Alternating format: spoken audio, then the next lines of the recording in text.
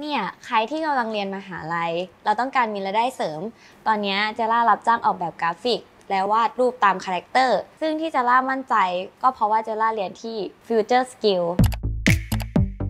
ชื่อเจล่าค่ะ อายุ 24 ปีค่ะ ตอนนี้กำลังเรียนมหาวิทยาลัยค่ะ แล้วก็มีความคิดว่าอยากหารายได้เสริมเพื่อที่จะแบ่งเบาภาระของที่บ้านค่ะ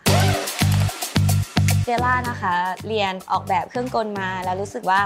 ตัวเองอะ มีความครีเอทีฟอยู่ในตัวค่ะ แล้วก็เลยคิดว่าอยากหารายได้เสริมจากการออกแบบกราฟิกต่างๆ แล้วก็วาด character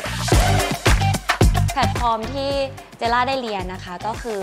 Future Skill ค่ะ จากการที่เพื่อนแนะนำมาอีกทีนึงว่า Future Skill เนี่ย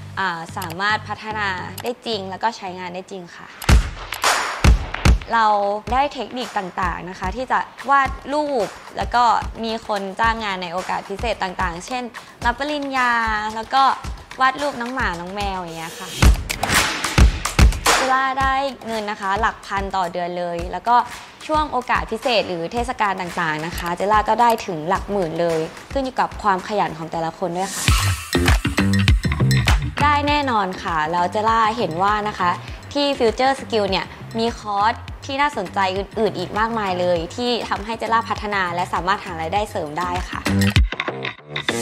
เนี่ยใครที่กำลังเรียนมหาลัย เราต้องการมีรายได้เสริม ตอนนี้เจล่ารับจ้างออกแบบกราฟิก และวาดรูปตาม character ซึ่งที่เจล่ามั่นใจ ก็เพราะว่าเจล่าเรียนที่ Future Skill เจล่าเรียนคอร์สวาดรูป Procreate สร้าง character ให้มีเอกลักษณ์ทำให้เจล่ามีความมั่นใจ ถ้าอยากหาเงินได้ก่อนคนอื่น ก็ต้องเริ่มทำก่อนคนอื่น เรียนกับ Future Skill สิคะ เจล่าว่าตอบโจทย์ เจล่าค่ะ เรียนกับ Future Skill มา 3 เดือน